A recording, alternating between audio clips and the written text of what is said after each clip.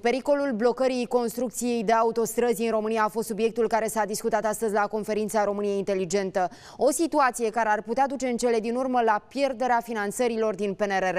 Care sunt concluziile acestor discuții aflăm de la colega mea Ioana Ciobanu. Te ascultăm, Ioana.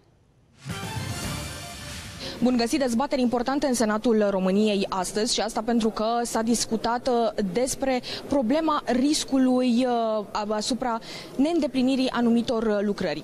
Există riscul ca unele lucrări să nu fie duse la bun sfârșit și asta pentru că există o problemă cu materia primă. Dar vorbim despre toate aceste lucruri și mai cu seamă despre care sunt primii pași care trebuie făcuți în continuare cu domnul Ureche, este președintele Patronatului Producătorilor de Agregate Minerale din România.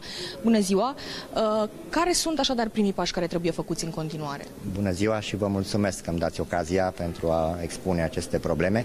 Eu zic că primii pași au fost făcuți astăzi, Adică reu, această reuniune care a avut la, la Senatul României a reușit să adune aproape toți actorii ă, atât instituțiile statului care au rol de reglementare, cât și principalii producători de agregate minerale și am avut ocazia să ne spunem problemele să vedem care sunt opiniile și de o parte și de alta și eu sper că de aici, începând, am putea să considerăm asta un, să zicem, un moment zero, deși ele lucrurile au fost începute mai de demult, dar de aici, de unde, de unde am identificat aceste probleme, de unde am venit deja cu propuneri de soluții, cred că putem să mergem mai departe și aceste propuneri să fie uh, transformate în reglementări legislative. Asta este speranța noastră și la fel speranța noastră este ca acest lucru să nu se întâmple prea târziu, ca să nu existe acel risc de care ați pomenit.